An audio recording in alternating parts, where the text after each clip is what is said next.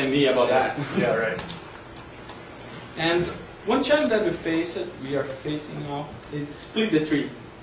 We have one generated tree uh, for, for instance, the update statement. But in Hibernate, you, we- you can update a parent, and the, the child will be updated. So to generate uh, an active SQL, we have to split that to generate update statements for each table. Okay, how we did that?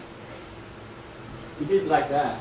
Um, we have the update statement, and during the the, the generation of the AST, the the tree walk, the tree, we created our own uh, method to, to generate that, and we walk through the tree manually, generate the already generated tree, and change what we want.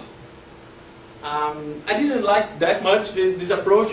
Uh, I would like to listen about listen from you what would be nice in your opinion. So what are you doing manually? What's the goal of that? Um, I have, for instance, may I use this? Yeah, sure. We have update uh, class name. Okay? We generated something like that. okay? class name. It's okay if it's not a um, it's not a, hierarchy class. It's not the top in a hierarchy.